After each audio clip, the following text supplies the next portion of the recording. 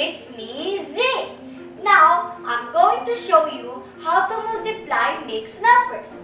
I have one example here which should be helpful. We have 6 and 1 half times 4 and 3 fifths. The first thing that we want to do is to convert the mixed numbers to improper fraction. We have a numerator which is 1 and 3 and our denominator which is 2 and 5. And we can multiply across. We must start at the bottom and work our way to the top. We multiply, then add. So, we do 6 times 2, our denominator to whole number. So, 6 times 2 is 12. And plus our numerator of 1. And the answer is 13. And that is the numerator of our improper fraction. We keep our denominator of 2 the same. Oops.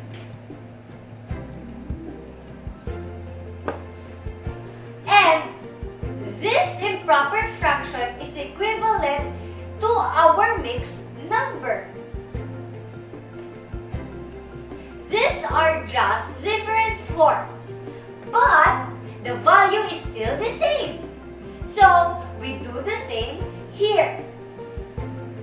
4 times 5 equals 20 plus 3 equals to 23. And we keep our denominator which is 5. And we multiply it. 13 times 23. 3 times 3 equals 9.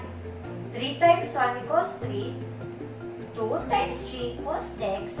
And 2 times 1 equals 2. Bring down 9. 6 times 3 equals 9 and bring down the number 2.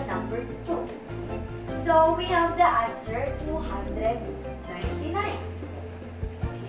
299 will be our numerator. And we're gonna multiply the denominator, which is 2 times 5 equals to 10.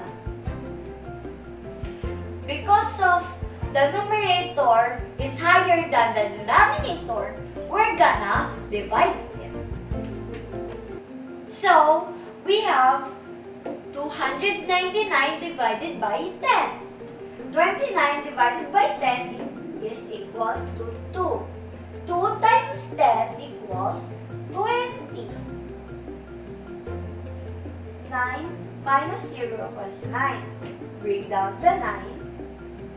99 divided by 10 is equal to 9.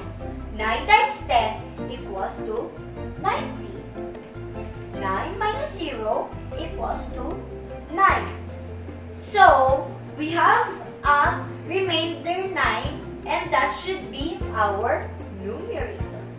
And the whole number which is 29. And our denominator which is 10. So our answer is 29 and 9 tenths.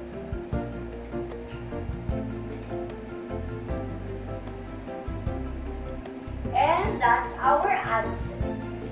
Thank you. Bye.